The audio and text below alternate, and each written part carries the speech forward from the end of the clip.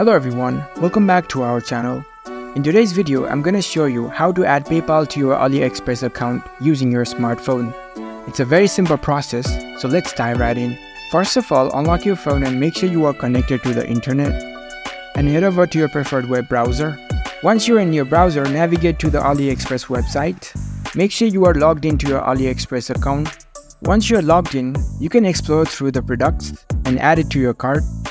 And in order to view your cart, here you can see the cart option at the top right corner, tap on it.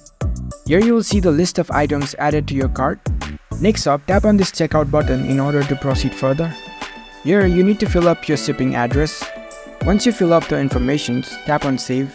You can review your shipping address and your orders. After that, here you can see the option place order, tap on it. Now you will be prompted to the payment page.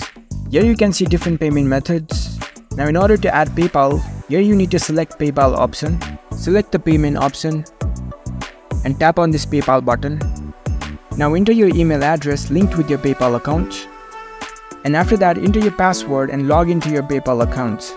And you will need to authorize AliExpress to use your PayPal account. And that's how you can enjoy a more secure and convenient checkout process on AliExpress using PayPal. If you found this video helpful, don't forget to give this video a thumbs up and subscribe to our channel for more tech tips. Thank you for watching.